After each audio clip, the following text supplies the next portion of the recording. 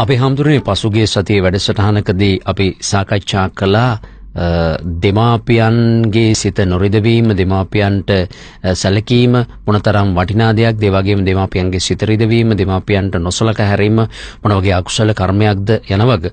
ඉතින් මේ පිළිබඳව ඔබ වහන්සේට নমස්කාරය පුද කරමින් ගම්පහ ගයානි අපිට ප්‍රශ්නයක් යොමු කරනවා. අවසරයි අපේ හාමුදුරනේ ඉතින් පසුගිය වැඩසටහන ශ්‍රවණය කළා. එහිදී දෙමාපියන්ට සැලකියුතු ආකාරය සහ ඒ හා සම්බන්ධ ඔබ වහන්සේ කළ පැහැදිලි කිරීම ඉතාමත්ම වටිනවා. ඒ වගේම මේ සාකච්ඡා කළ ප්‍රශ්නේ අනෙක් පැත්ත ගැනයි මම අද ඔබ වහන්සේගෙන් අහන්න බලාපොරොත්තු වෙන්නේ. දරුවන්ගේ සිත් දෙමාපියන්ගේ ක්‍රියාකලාපවලින් රිදවෙන අවස්ථාත් සමාජයේ ඕනෑ තරම් තියෙනවා. මම උදාහරණයකට ගන්න මම සූදානම්. ඉතින් මම මගේ අම්මයි තාත්තයි දෙන්න එක බොහොම අමාරුවෙන් තමයි ජීවත් වෙන එකට හේතුව තමයි මම මොන දේ කළත් දෙමාපියන්ට ඒක වැරද්දක් විදිහට තමයි පේන්නේ. අසල්වැසියන් සමග මම සතුටින් සාමදානින් සමගින් ජීවත් වෙන්න කැමතියි. නමුත් දෙමාපියෝ මේකට බාධා කරනවා අය ඇත් එක්ක ඔන්රෙඩි කතා බහට යන්න එපා ඇසුරු කරන්න එපා කියලා. නමුත් ඉතින් අපි පුද්ගලයෝ විදිහට සමාජයේ ජීවත් වෙනකොට ඒක කරන්න අමාරුයි. ඒ නිසා අය මගෙත් එක්ක නිරන්තරයෙන්ම අමනාපෙන් ඉන්නවා. ඒ වගේම තමා මම විශේෂයෙන්ම පිනට දහමට කැමති පිනක් දහමක් කරන්න කුසල ක්‍රියාවක් කරන්න ගියත් එයා ඒකට බාධා කරනවා මොකටද ඕවා කරන්න තේරුමක් නැහැ මෙන්න මේ විදිහට. ඉතින් ඒක නිසා මම තීරණය කළා අපේ හාමුදුරනේ දෙමව්පියන්ගෙන් ටිකක් දුරස් වෙලා ඉන්න. මෙහිදී මං අදහස් කරන්නේ ඒ අයට නොසලකා ඉන්නවා කියලා සලකනවා. නමුත් මගේ යහපත වෙනුවෙන් එයාගෙන් ටිකක් දුරස් වෙලා ඉන්න මං කල්පනා කළා. ඉතින් මේකේ යම් පාපයක් මට සිද්ධ වෙනවද කියලයි මම ඔබ වහන්සේගෙන් අහන්නේ. ඇත්තටම මේ එවැනි කාරණා අනිල් මහත්තයා මේ නොඑක් අවස්ථාවල අපටත් හම්බ වෙලා තියෙනවා. එහෙමයි. ඉතින් විශේෂයෙන්ම දැන් මෙතනදී මේ අපි ගිය සතියේ සාකච්ඡා කරේ මව්පියන්ට සැලකීම නොසැලකීම සහ පින අකුසලයේ පිළිබඳව. කුසල අකුසල සම්බන්ධයෙන්.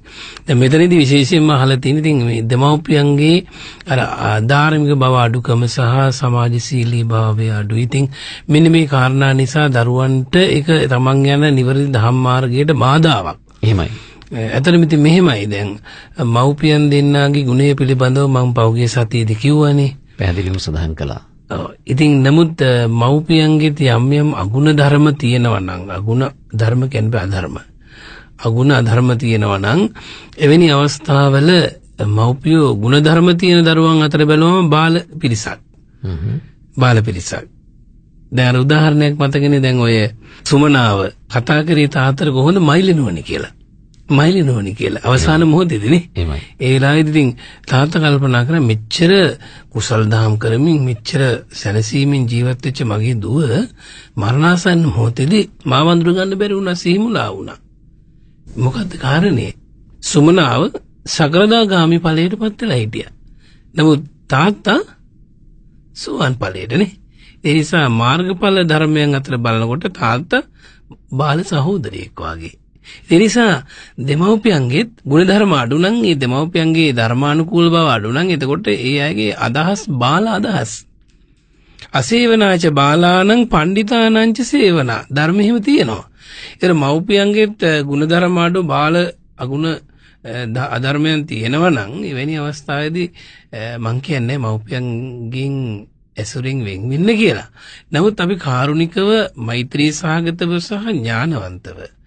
අර ඒ ප්‍රශ්නහාපු මේ උපාසිකාව කියපු ආකාරයට පොඩ්ඩක් ටිකක් දුරස්තව ඉන්නට ඕනි දුරස්ත වෙන්න ගැන හිතෙන් නෙවෙයි කායිකෝ යම් මට්ටමකට දුරස් වෙලා ඉඳගෙන සියලුම සොයා බැලීම් ආදී සියල්ල මව්පියන් වෙනුවෙන් කරන අතර තමන් ගැන දහම් මාර්ගයට ඒක වළක්වන්න උත්සාහ කරනවා නම් එතනදී අපි ඥානවන්ත වෙන්න ඕනේ. මොකද ධර්මයේ තියෙනවා මේ ධම්මා විනානත්ති පිතාච මාතා තමේවටානං සරණම් පතිත්තා.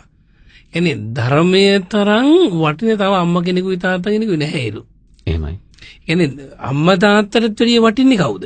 ධර්මය. ධර්මය. එහෙනම් මේ ජීවිතේ ලැබිච්ච මව්පියෝ අපි අතහැරලා පරලෝ යන්නේ නෙක අපි අතහැරලා ඇතු පරලෝ යනවා.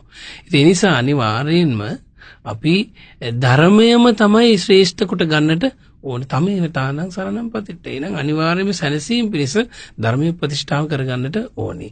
ඒ අතරදී ඊටම ඥානවන්ත එයාගේ හිත ඇලෙන්නේ නැති විදිහට, රිදෙන්නේ නැති විදිහට, එයාලා නොදැනෙන විදිහට eh, මව්පියන්ගේ ළඟ ඉඳගෙන මේ කටයුතු කරන්න බැරි නම් ගුණ දහම් පුරන් ඩිංගක් ඈත් වෙලා හැබැයි මව්පියන් ගැන සුවා බලමින් එයාගේ හිත ඇලෙන්නේ නැති විදිහට ඥානවන්තව කුසල් දහම් වල යෙදුනට ඒක වරද වෙන්නේ නැහැ කියලා මගේ අදහස ධර්මානුකූලව. ඒ නිසා eh, ඇත්තෙම මේ අවස්ථාවේදී වෙන්නේ මව්පියවරුන්ට උනත් අපි කරුණාවෙන් මතක් කරනවා තම තමාගේ දුවදරුවන්ගේ ඒ යහපත් යහපැවැත්ම තව දියුණු කරගන්නට උදව් කරන්න උපකාර කරන්න.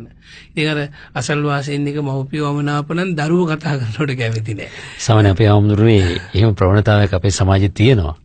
ඇත්තටම දැන් සාගර කියනවා අපිට ඕනේ නැත්තම් උඹලට මොකටද කියලා. එහෙම මහානවනේ. එහෙමයි. ඉතින් ඒ නිසා එහෙම හොඳ නෑ. මොකද අපි ජීවත් වෙන්නේ ලෝකයක් තුල. ඒ ලෝකයේ බොහෝ පිරිසක් ජීවත් වෙනවා. අපිට තනියම කවදාවත් ජීවත් වෙන්න බෑ. කවමදාවත් තනියෙන් ජීවත් වෙන්න පුළුවන් කමක් නෑ. අපිට අනිවාර්යයෙන්ම තව කෙනෙකුගේ සහාය අවශ්‍ය වෙන. ඒ නිසා අපි සමාජය පිළිබඳව, ලෝකයේ පිළිබඳව, රට පිළිබඳව නේද? තේරුම් අරගෙන බුද්ධිමත්ව කටයුතු කරන්න වෙනවා. ඒ සමහර අවස්ථාවල අනිල් මහත්තයා අපි මේ සැබවින්ම හාත්පසින්ම අපට නොගැලපෙන අය අපට ඇසුරු කරන්න වෙනවා නේ. ඒ වගේ වෙලාවෙදී අපිට යාල ප්‍රතික්ෂේප කරන්න බැරි තත්වයකට පත් වෙන්න පුළුවන්. ඉතින් අපි ඥානවන්තව ඇසුරු කරන්නට ඕනේ.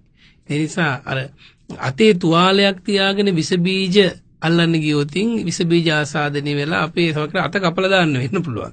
හැබැයි අපි ආරක්ෂිත තත්වයක් ඇති කරගෙන ඒ විස බීජ දේවල් අල්ලන්න කියන්නේ ගියාට අපිට එහෙම ආසාදනීය වීමක් නැද බල වෛද්‍යවරු නේ හෙදි හෙදියන් රෝගීන් අතපත ගන්න ඕනේ අල්ලන්න වෙන විස බීජ නමුත් ඒගොල්ලෝ අත්පලඳනාවක් පාවිච්චි කරනවා. එතකොට ඒ ආසාදනීය වෙන තත්වයක් නැහැ. ඉතින් අපි තේරුම් ගන්නට ඕනේ අපි ප්‍රඥාව නැමැති අවබෝධය නැමැති ආවරණය තුල අපි හැම කෙනෙක්ම ඇසුරු කරන්නට වෙනවා. ඉතින් ඉන්න බොහොම පරිස්සමට සහ ඥානවන්තව මෙවැනි අවස්ථාවල මව්පිය දූ දරුවන් සහ ඇසුරු කරන පිරිස කටයුතු කළ යුතුයි කියන එකයි ධර්මානුකූලව මට කියන්නට තියෙන්නේ.